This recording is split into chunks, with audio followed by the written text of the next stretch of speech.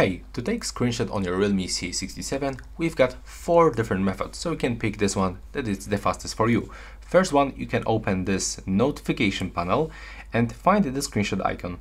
And when you click on it, this screenshot will be taken. The second method is to use the three fingers swipe gesture. So with your three fingers, you have to swipe from the top of your screen and the screenshot also will be taken. As you can see, that's quite simple.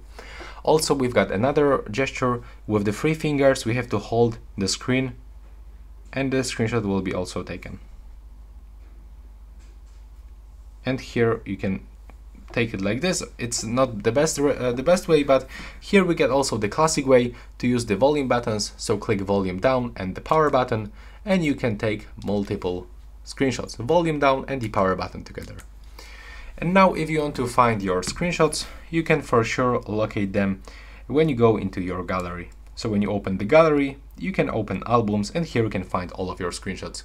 And that's all right now. Please subscribe to my channel and see you in the next one.